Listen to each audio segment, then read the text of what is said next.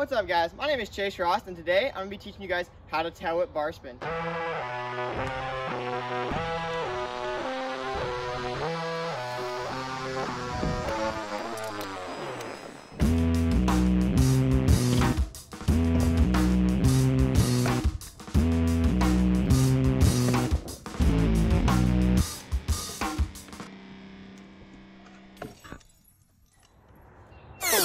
Jump right into this. My name is Chase if you guys are new to my channel, and I like to film tutorials just like this one where I break the tricks down step by step so you guys can learn the tricks the fastest, easiest way possible.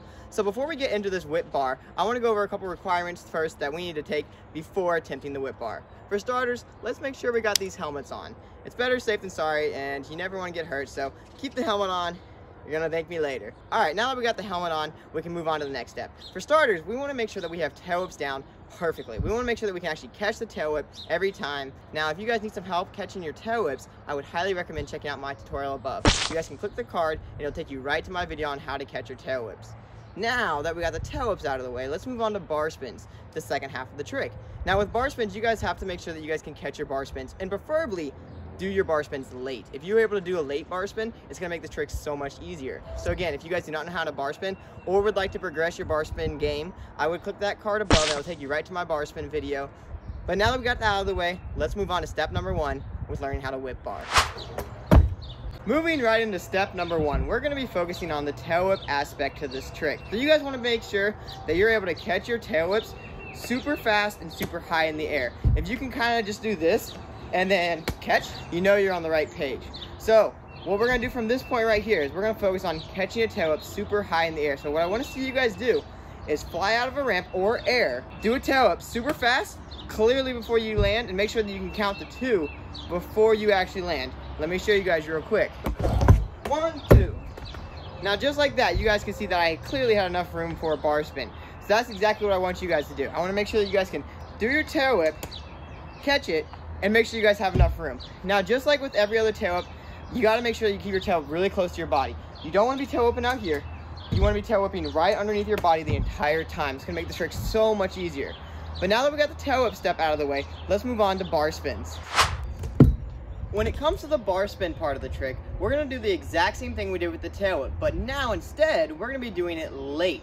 So we're gonna do the exact same thing that we did with the tail whip, and we're gonna count to two, and then send the bar spin. So instead of doing the bar spin, then counting the two, we're gonna count the two, one, two, and then bar spin. Now, you guys can do this air, fly out, or off of a drop to give you guys enough time to send the bar spin late. Now, being able to do your bar spins late is gonna be the hugest part to doing this trick because if you guys can build up the muscle memory of doing a late bar spin, it's gonna allow you guys to actually send the bar spin after the tail whip.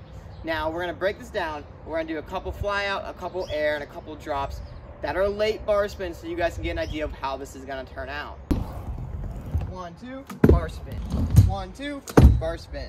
One, two, bar spin. Now that we got the late bar spins feeling pretty good, we are now ready to move on to step number three, which is gonna be combining the whip and the bar spin together. Now before we take it to the ramp, let's just focus on staying on the flat ground real quick. So let's not move to a ramp, let's just stay right here. What we're gonna do right here is we're gonna focus on keeping our front foot on the ground just like this. Now we're gonna lift our scooter up in the air, just like this. Now if you guys have seen my how to bar spin video, this will make a lot of sense because in that video I talked about how to do the bar spins, balancing just like this to make sure that you're comfortable with bar spins before you take them to a ramp. We're gonna do the exact same motion now, but now we're gonna add the whip. So again, we're gonna keep that front foot planted on the ground right here. We're gonna do a tail whip, and now do a bar spin. So again, we're gonna come up, do a tail whip, and do a bar spin. Now while we're doing this, we want to make sure that we're not kicking the tail way out there and our bar spin's not all goofy.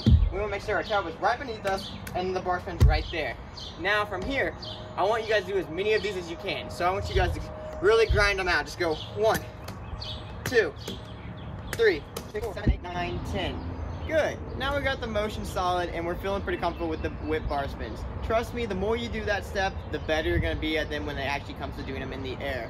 So now we're gonna move on to step number four. Now for this step, all we're gonna do is just do a tail whip and just keep our front foot off until the very last second. I'll explain why in a little bit why this is actually a crucial step. But now we're gonna move on to step number five, which is the exact same thing, but all we're gonna do now is just do it with a bar spin. So we're gonna do a bar spin and just leave that front foot off and bring it on as soon as we actually land the bar spin. Now the reason this is a crucial step is because when it comes to actually doing a whip bar in the air or fly out, it's actually easier to do the trick when you do a whip, keep your front foot off, then do a bar spin, and right as you're landing the bar spin, put your front foot back on. Now at first, it might seem weird to leave your front foot off, but trust me, in the air, you'll be able to use your front foot as your balance foot, so if the trick's going a little wonky, you can step off, run it out, and it'll be a good day.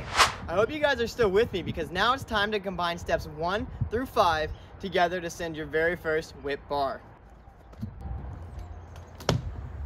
Right now I'm going to do a whole bunch of whip bars and slow-mo them down so you guys can see exactly what I'm doing while I'm in the air. While we do this, I want to retouch on a couple tips that are really going to help you guys while doing the whip bar. So for tip one, practice the whip bar motion with one foot on the ground, just like we were doing earlier. Now for tip two, keep your front foot off the deck until the bar is complete and then tip three, I want you guys to stay level in the air. Now tip four, keep your scooter under you. You combine all these tips together and you're gonna have this whip bar like it's nothing.